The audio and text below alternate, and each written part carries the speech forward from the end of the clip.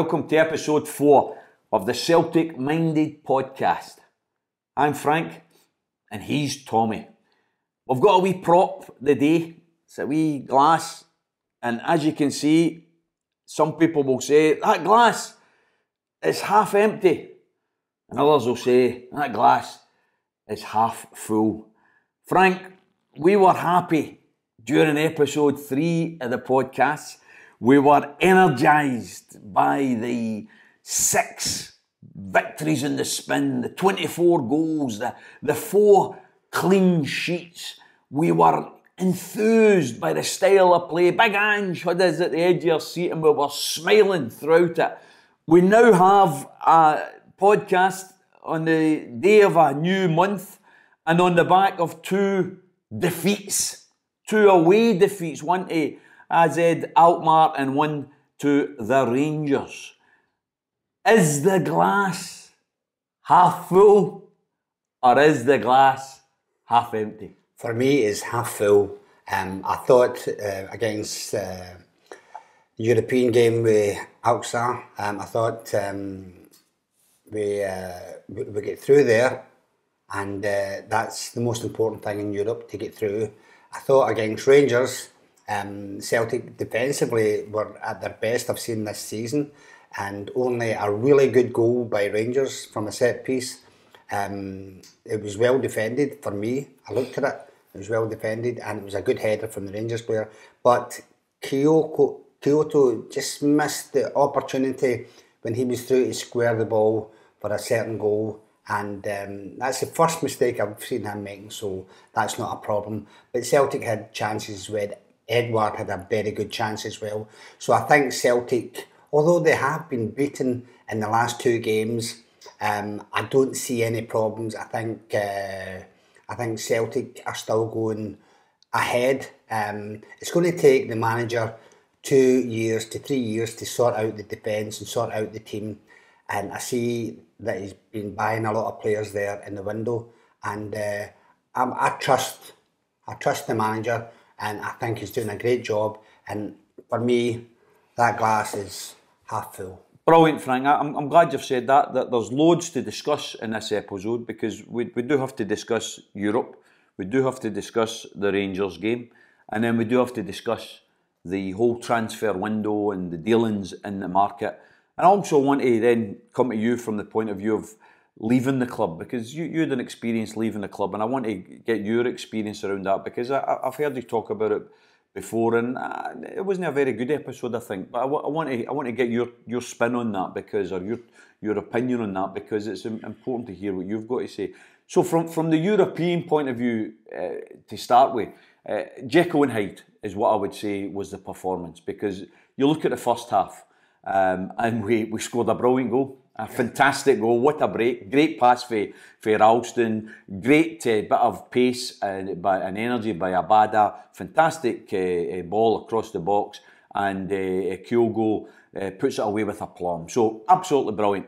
And then we have a ridiculous goal. Um, and people have tried to talk about uh, sharing the blame between Welsh and, and Big Joe Hart. It wasn't nothing to do with Welsh. It comes off Welsh's shoulder but it's it's it's Hart's ball every day of the week. And Big Joe, for some reason, I don't know whether he's blindsided or something, but he doesn't see the forward coming in. He doesn't come out fast enough, and they end up getting a, a free goal. and then what do we do for a cross ball? They get a second free goal. I mean, what is Starfelt doing with that one? I mean, goodness, Frank, he's got to adjust his feet. The ball, it's not as if it's, it's came to him at a short distance. It's came from the wing. He can see it coming.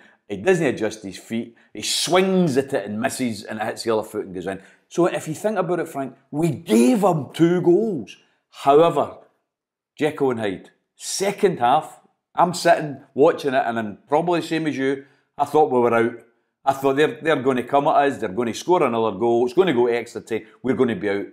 I thought we defended brilliantly in the second half. Uh, and I think bringing on Eddie, um, gave us an outlet that we didn't have, um, and, and, maybe in the first half. But I think the defensive performances of Starfelt, who he's, you know, some people have given him a, a lot of stick. Here's a bit of character. You know it yourself. Right, See, yeah. if you make a big mistake during the game, surely the big issue is Can you keep playing? Can you keep going despite the fact you've made a big mistake? Yeah, I think it's I think it's very important. Um, anytime that I made a mistake um, on a football park, I, I remember against Aberdeen, I missed a complete and utter sitter up at Pittodrie, and you couldn't get a worse sitter than that. And after that, I made I get man of the match in the game, and we won three one, and I was involved with all the goals. Now that's what he's done. He's used that negative and put it into a positive, and that was I think that was absolutely brilliant what he done. And I thought if Celtic would score a goal in the game, the game was over, and I was right. Although uh, it did look as though uh, it would be a tough night, but all, all European games are tough. Um, they came, the most important thing they came through it, and for me, the big plus is they defended well. Definitely, Frank. At the end of the day, qualifying was the aim, right? Wasn't it? The, the result on the night was largely irrelevant as long as we went through. Um, and I, the boy Montgomery come on, uh, young Adam Montgomery. I thought he had a very good game in the left. And again, Ralston and Welsh.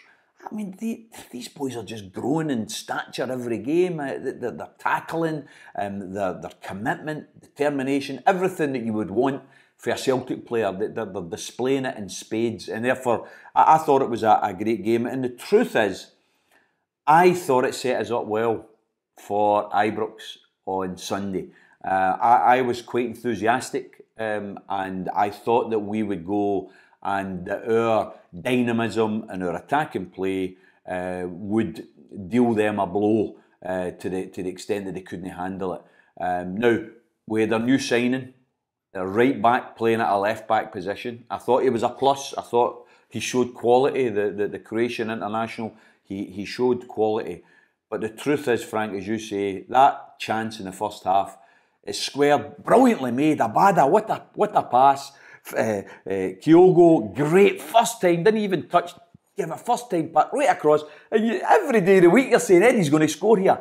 And of course, he misses it really poorly misses it. And I think that affected his, his whole performance, by the way, after that. He didn't recover the way you did against Aberdeen. Yeah. His head went down. Yeah. Uh, and the, the, truth was he was like a man shot. But I think I think if you're a player and you're playing for a club and you know you're you're going to be transferred soon, you're not going to give your 100%. Um, and I think Edward was looking at all the money that he was going to get uh, off his next uh, deal. And um, and for me, he was a player of pure magic last year, a, a great player, but I think he's lost that magic. Mm. So I do. Well, to, to miss that goal the way he done and to play the way he done, and right after it, the manager said, I shouldn't have played him up front. I should have played Kyogo. Says it all for me. There's two two things there in what you've said. For number one is um, Eddie, in my opinion, gave us four years and some brilliant memories. Oh, the, the, the, to me, the guy on his game is a, an absolute phenomenon. I, I, hope he goes down and rediscovers the form that we saw in his first two seasons. Last season, I thought, like everyone in the Celtic team, he, he was off the boil, and yet he still finished our top goal scorer. Um, however, he has got potential, I think, to be world class. And, and depending on what happens at Crystal Palace, whether they bring out that potential. Hopefully they'll love him. The fans will love him. I think they're going to adopt I Want to Be Edward as the song. Fantastic. Uh, Palace fans, if they give him the love, I think they'll get back from him. Uh, brilliant performances and he can, he can win games. However, um, you've got him playing poorly and you also had Christie, Ryan Christie. I mean, I, I, recently on this podcast, I was saying, you know, go all out and, and get him a new contract the way he played on Sunday, it was terrible. You've got to remember these players know they're going to different clubs no. after the game, and uh, it's very, very. They don't want to get injured. Um, if they're going to go to another club, and they know everything that's happening. Um, so they will not be putting. I'm not saying they're not trying, but they won't be putting. They'll not be going for a tackle that could maybe hurt them seriously. And then there's no transfer. There's no money. There's no wages. £75,000 a week he's getting. Edward is getting just under £4 million a year. It's unbelievable. When I went to Celtic, I was getting, they gave me £300 a week, less tax and insurance, £200 a week. My mortgage was £350 and I was left with about 30 £40 spare every week. These guys can buy a flat in Glasgow every week with their wages. It's unbelievable. So they've got that in their minds. So if I'm going out to a football park and I know I'm going to make four million pound next year, am I going to give my all? It's a no, bigger, I'm not. It's a bigger debate, Frank. You know, because see, in your day, um, relatively speaking, you were better paid than, than ordinary workers, right? There's no doubt about that. Relatively speaking, mm. but you know what? The gap wasn't as big. No, nowadays the gap is it's it's immoral in my opinion. When I immoral. went to when I went to Celtic in 1980 um, Bobby Lennox, I played with Bobby Lennox, who was my hero because I wanted to play the same way as he done, get behind defenders, just the way Kyogo's doing just now. I love Kyogo. He's going behind defender, he's chasing back. I love all that. And Bobby Lennox was on £80 a week at Celtic in 1980. A Lisbon Lion, a disgrace. That's listen. There, there's no defending that whatsoever. The point I'm trying to make is from a societal point of view, in those days, I think Celtic players, football players in general, were more in common with the ordinary working man and woman than they are today. Oh, today, oh, yeah, today they're automatic millionaires. Uh, and I, I, I find it whole. I find the whole thing distasteful. You've talked about uh, Eddie uh, getting a, a wage, a, a, allegedly of seventy-five thousand pounds a week, which uh, you, you compare it to a, a, a, a, trained nurse, you compare it to a doctor, oh. you, can, you compare it to, to people who are saving lives for a living, and, and it's absolutely obscene. But then you go to the, you know, Ronaldo's going to Man United, four hundred and eighty thousand pounds a week. That's four hundred and almost half a million pounds a week, mate. I mean, that to me, I, I, sometimes feel guilty as a socialist, Frank. I sometimes feel guilty loving the game of football because it is totally and utterly immoral, the, the level of rewards. Uh, if, if the fans want to pay all that money, I would rather see it going to the players than the directors, which has happened for the last hundred years.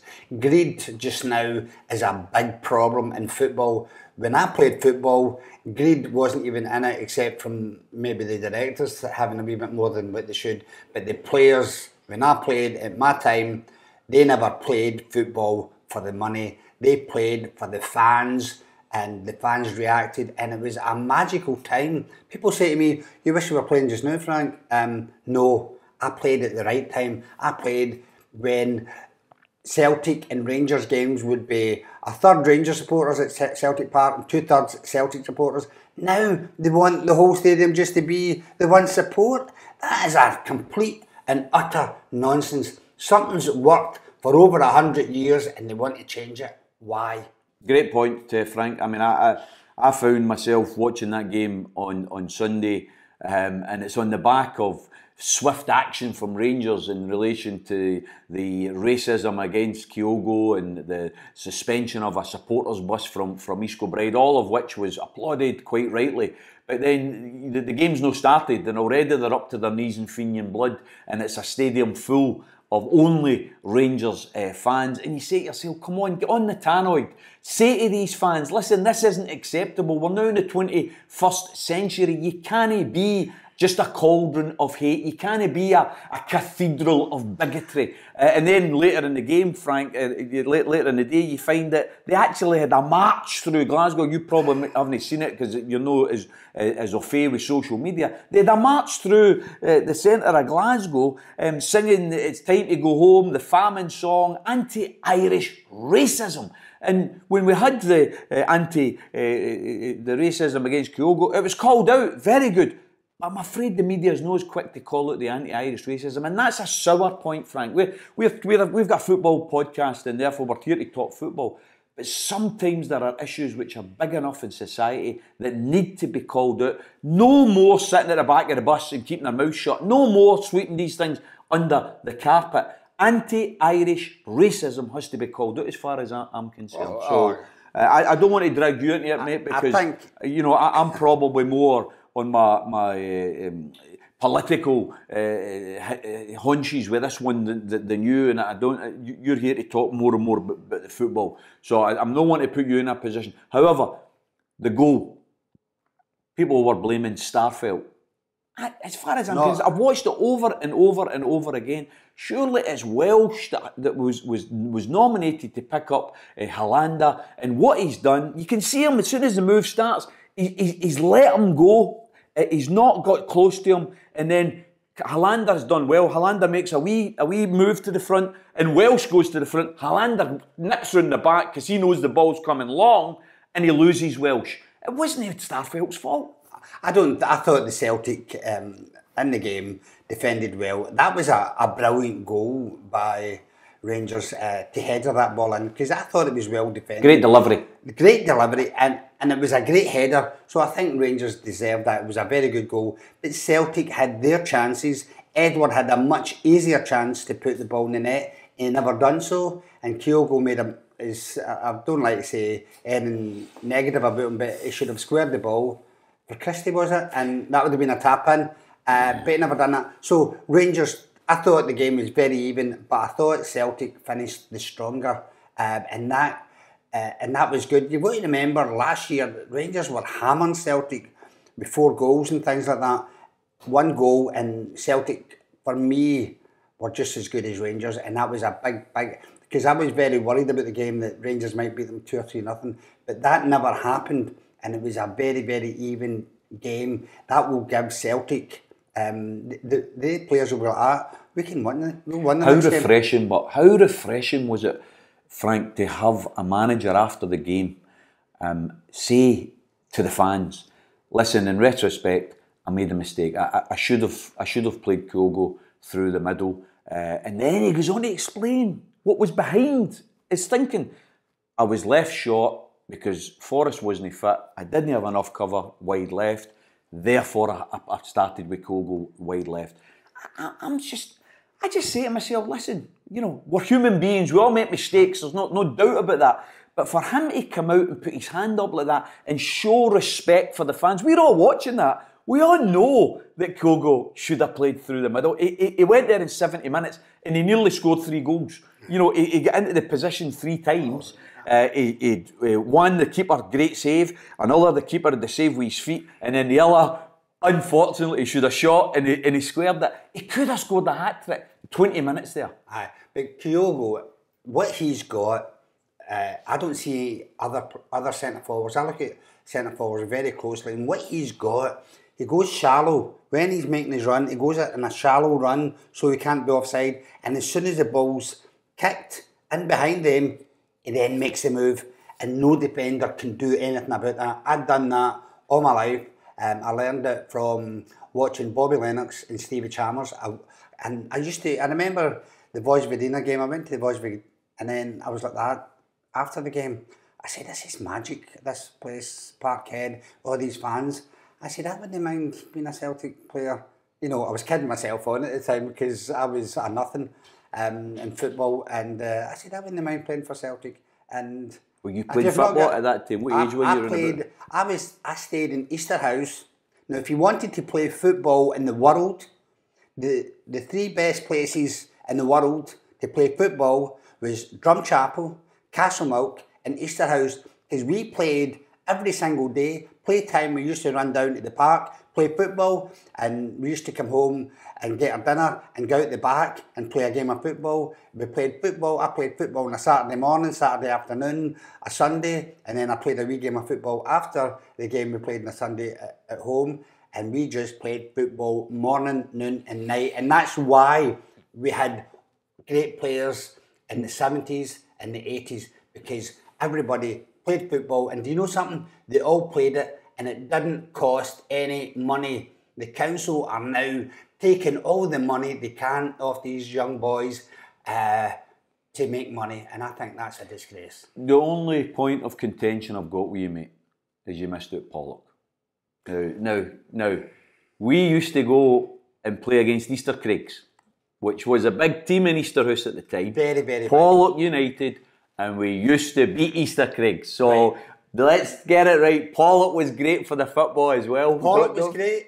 what I'm trying to say to you, I know all the schemes exactly. were great for exactly. football because everybody, all the English scouts came to Scotland all the time to get players. Kenny Dalglish, Joe Jordan, Andy Gray, myself went down to Liverpool. Um, it was just continuous, and they sent all the scouts up to Scotland to get players because they knew if they had two Scottish players in, they've got a good chance of winning things because we had the will to win. Definitely. You've got a manager now. I don't know if you managed to see the show, and I don't. You know, so often get criticisms of uh, Sky for some of their coverage, but I'm going to be um, magnanimous here, and I'm, I'm, I'm going to congratulate them because I thought their show, um, their video about Ange Postecoglou before the, the, the game on Sunday was outstanding, uh, uh, and I thought I found it so moving. Um, the, the the guy was explaining just how difficult it was to go to a foreign country. He, he talked about being on a boat for uh, something like two days, uh, travelling uh, as a young kid, um, and then he also talked about how his, his mum and dad um, couldn't speak uh, English, they, they, they were Greek. Uh, they had to work every hour that uh, was sent. They had to do everything for, for the family, for him and his sister.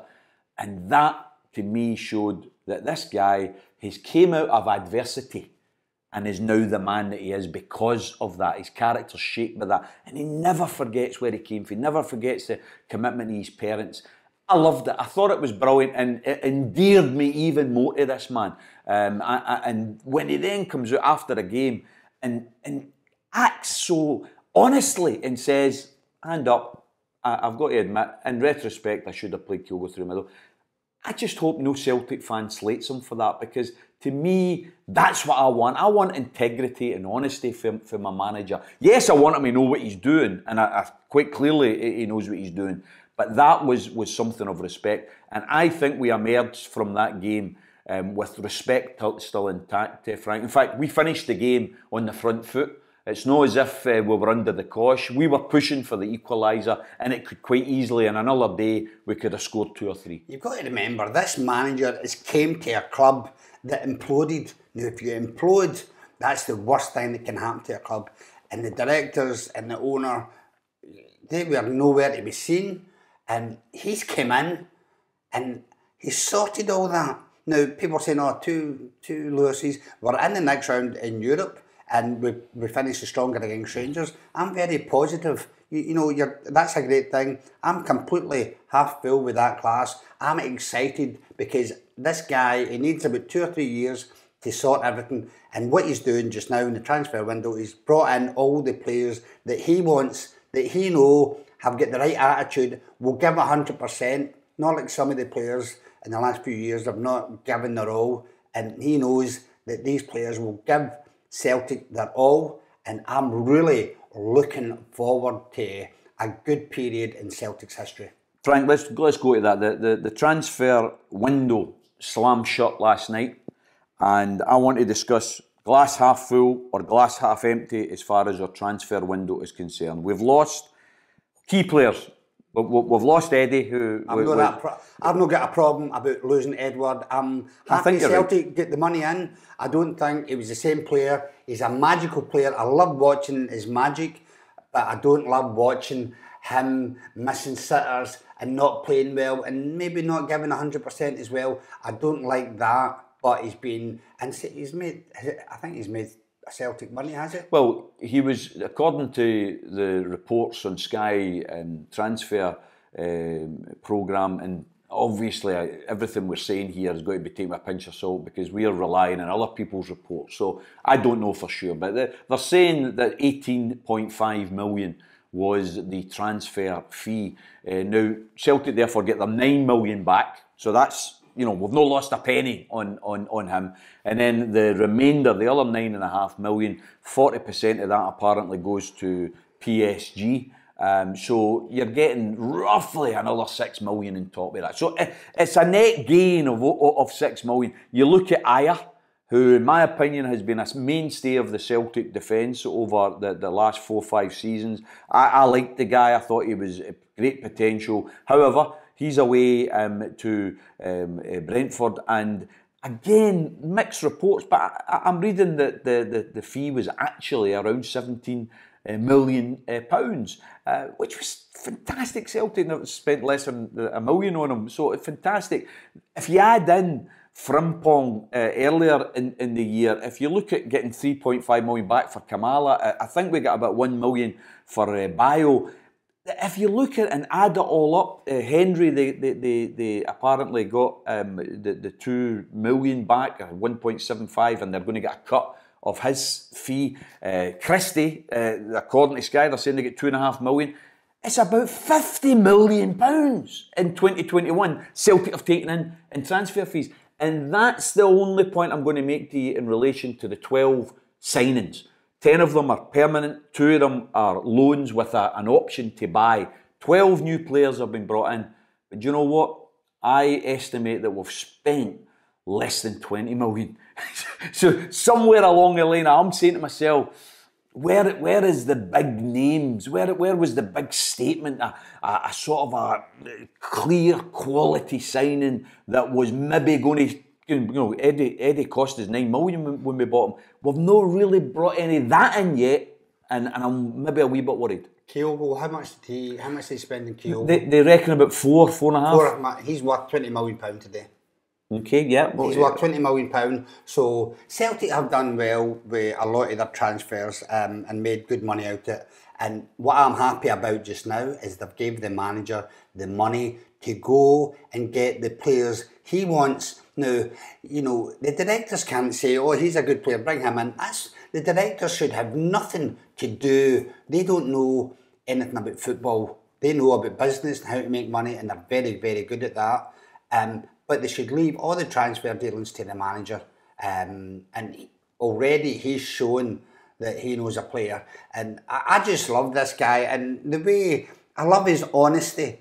Uh, and, and, that's great. And the fans love it because they know he's not trying to take, take the mickey out of them. Um, and the fans love him. Uh, I can't believe I'm saying this, but I, I love him as well. Well, um, and I think he's a great manager. There's no, there's no. Uh, I tell you what, I, I, want to give a wee shout out here because um, you're talking about loving uh, Ange Postecoglou. Um, I, am very, very fond of the guy already. Don't know the guy, but, but, what I've learned about him has made me be very, very uh, uh, respectful of him and, and have great admiration for him. I do want to give a wee quick shout out to Frank, if you don't mind, to a, a special group who are doing something which I think is uh, so um, needed and so necessary. Um, it's the Willie Maley Memorial Group. Willie Maley, as we know, was Celtic's first manager, managed for over nearly 50 years, was Celtic's most successful manager, um, and had a philosophy, uh, his philosophy, because up until he, when he became the manager,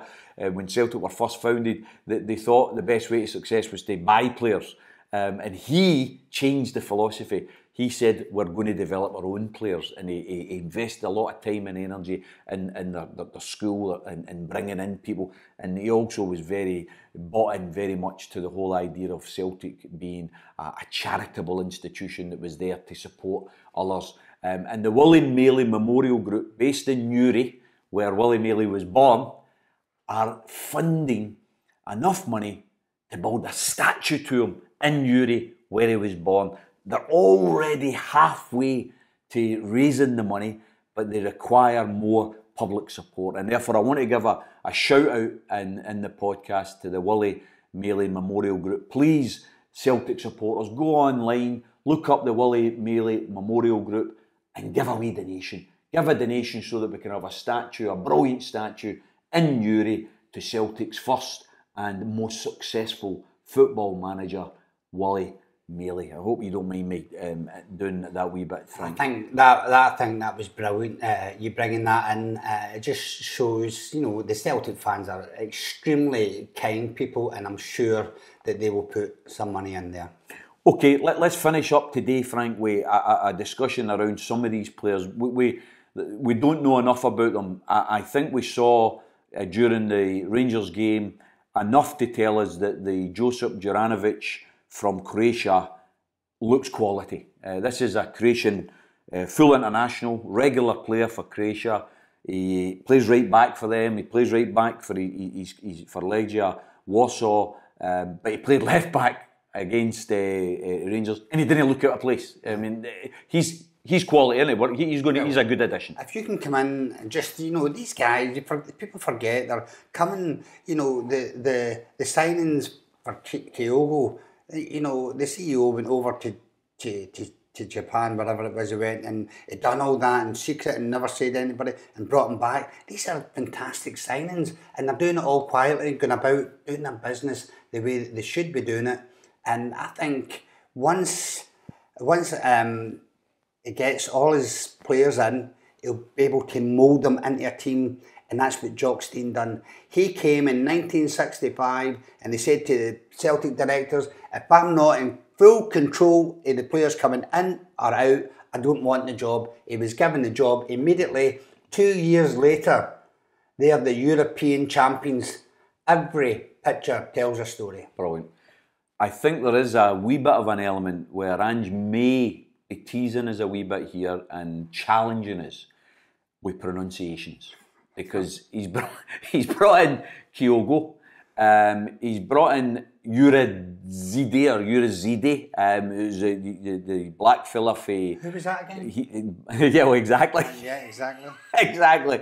He, Sheffield Wednesday, black uh, defender, looks the part, but hasn't played any part really in the competitive games. He played in some of the pre season games. Uh, very, uh, looks very able, um, very mobile maybe not as good on the ball, um, and therefore he's been on the bench for, for a lot of the games. But he's been been brought in, um, and now they've signed, uh, and I'm going to call him Georgios. Georgios. Georgios, uh, Greek, because I'm not sure about how to say his second name, which sounds like Klakakomis. And, and I well, there you go. You, you, you taken a course in Greek. Yeah, I just copied you there, Tommy. well, you've got a problem in some respects with the, the second name, but let's just call him Georgios, and let's just hope he's, he's, he's as uh, successful as the other big Georgios that we had, uh, big big uh, uh, big Samara. So, um, uh, from my point of view, this is the guy who played with VV Venlo in the uh, Dutch First Division and out of 31 appearances, I think he scored 26 goals. Oh, finished the, finished the top goal scorer in the Dutch league. Unfortunately, his team got relegated. Now, to me, that shows that he's scoring in a team that's losing, but he's scoring 26 goals. Apparently, six foot one. Uh, I've watched some of his uh, his videos online. He seems to be able to score in any position, uh, outside and inside the box, but mostly inside the box. And the beautiful thing is, Frank, he scored quite a few with the head. That's good. Because we've, we've, we've, lacked that and, and, and having a bit of a presence in there, having a six foot one forward, giving defences a bit of a problem at set pieces. That's one thing that I, I was never given praise for my heading ability. Um, and I scored a lot of great goals with my head culminating in the 1985 Cup final, where I don't know how that ball went in, um, but I was immediately sacked after the game. Well, this is uh, listen. I want to I want to finish the show today. I want to finish the show with this wee story, right? Because I, I we've you and I have discussed it before, but I, I think it's worthy of, of, of hearing it again. And that is that you, you go to that final, um, and uh, you've been playing well all season uh, the truth is that the, the club wasn't doing well that season because th- this was the only tournament that these were going to win. And Davy Hay, the manager at the time, probably was under a lot of pressure because he suddenly produced uh, in terms of the championship. Scottish Cup final, um, it could have went either way. Uh, Dundee United, good team at the time. Dundee United were 13th in Europe at the time. 13th in Europe at the time. A great defence, David Narey, Paul defense. Hegarty, fantastic defenders. Uh, Ralph Milne, what a bloody pain he was in the arse. That's why Dundee United were 13th or 14th in because Europe at the time. They were getting into the semi-final of Champions Leagues. Yes. They've got a, bet, a better record against Barcelona than what Barcelona have got against Dundee United. Probably the only team in Europe to have that. Right in, incredible football in the 80s. And you get to the final, talk me through how the winning goal was scored. Well, in the first place, I was sub for the game the week before, but I'd done well in the Scottish Cup that year. I, I'd uh, Davy Hay. I scored quite a lot of goals. I was sub quite a lot. He wanted to play Brian McClair and Mo Johnston up front, and um, so but I was scoring a lot of goals. I scored 22 goals that season. Mo Johnston scored 23. Brian McClair scored 24. And I, I, I'd only played half the games that they played. So I was really the top goal scorer. Goals per minute, you're the top goal scorer. So, and I think if you score a goal every two games, that's about right for a centre forward. But anyway, uh, Davy Hay went down to Seamill that weekend. Oh, it was great. I, I wasn't playing in the game. I knew that, and uh, and that was that. And uh, and then Davy Hay went into the toilet and I couldn't believe uh, Davy Hay came in behind me and we said, Frank, you're playing on Saturday. Uh, you know, I, I went into the toilet and I nearly shut myself when he so is this is this the Thursday or this is the Thursday? Is well done. You, you, knew that. so I was like, I was had to go up to my bed and lie down for half an hour. I'm going, I'm playing brilliant. So I got myself ready. And um, Billy McNeill was commentating that day, and uh, Archie Macpherson asked him, "Who do you think could be the, the, the man?" He said, "I think Frank McGarvey." Seriously, always does. He always does. Very good. If you listen to the commentary, he said that he always does well in the big games for Celtic. And I thought that was very nice of him. And we've been, I've been very friendly with Billy McNeill right to the end, and a lovely, lovely man. But anyway, um, I scored, I scored the winner with the most incredible header ever Ever. I can't believe because it was almost as if you'd put your head at the back of your uh, body and then pulled it forward. but David Provan, he hit the free kick, which went about a millimetre inside the post. but the two years went up to the Grosvenor Hotel after the game, and uh, after the game, all the players' wives cuddled me to, to say, well done. They weren't doing that because they liked me or anything. They were doing that because we, we got a £2,000 bonus, and that meant that all the players were going on holiday that summer. I thought it was your charm and your good looks. That's why no, they were no, cuddling no. you. They were like that. Thanks. We're going. we're going to Benidorm. Thanks. And we had to win. We had to win at that time uh, a trophy of some sort to get a good bonus to pay for our holidays. Right. And I know you might think that's strange. That's the way it that's was. That's the way it was. But okay. anyway. Um, how long ago? I am trying to remember because I remember David. David Provan was about ten minutes, and I was about three minutes. Yeah and uh, the timing and the Celtic fans that day were there was a hundred and over well over a hundred thousand people at the, the game that day. It was truly amazing. And so I went in, I said, Well, good time to get a new contract. My contract was up. I said, I'll go in and see Davy Hay, on Monday morning, get a new contract and finish my time with Celtic. And I went up to see Davy, and I was so, and he gave me a cuddle. Actually, his wife, his wife gave me a cuddle and everything. So I said, I'm right in here. I'll go in, get a transfer, blah blah blah. And I said, I'll get him in a good mood, and I'll, uh, you know, I'll do well with it. And uh, I went in, I said, Davy, he said, "Pat, oh, great goal, Frank Saturday. I said, I know. He said, I think you saved my bacon as well. I said, well, I know I did, you know, because he would have been sacked if right. he never won. So I've saved him for getting the, I've saved David for getting sacked. Um, so I went in to see him and uh, I said, I'm in for a new contract, Davy. And uh, he gave me a cuddle for scoring a goal and that was good. And I said, oh, I'm going to get some contract here. And uh, I said to Davy, I said, uh, I'm in for a new contract. He said, well, Frank, he said, I'm looking to play Brian McClair up front. I said, that's no problem. I played with Brian. The two years going great. And uh, he said, no, I want Mo Johnston to play um, with him. I said, well, I'll be sub, no problem. I'll keep the two of them on their toes. Don't worry about that. You know what I mean? So I was just wanting, you know, I didn't Same. have to play. I just wanted to. It was a great time, and I was on a, on a high still uh, for, for scoring that goal. And all the the Celtic fans were brilliant to me. Um, I didn't have to buy a drink in a pub for about six months. um, it was brilliant, and uh, and then he said, "Well," I said, "Well, play the two up front." He said, "No," but uh, I said, "I'll sub and I'll keep them going. He said, well, I want Alan McInally to be sub. I said, Alan, I said, I've just scored the one in the cup final. I said, why is he not playing Saturday now? Um, you dropped me. And could, David couldn't explain it. And then I said, so so you want me in the second? I said, why, why you want me in the second team? He said, because I've not got a third team. no, No, you never said that. never that was a joke. You- That you made that one up. Uh, uh, that was a joke, but I, I would I wouldn't have been surprised if he did say that. So um, I went home and uh, I was shattered, absolutely Yeah, you would be. You would be. um, that Celtic. But do you know something? It's helped me in my life because I left Celtic at the right time. You always leave a club at the top, and I left Celtic when I was up there. Right. And I, I thank Davy for that. I went to St Mirren.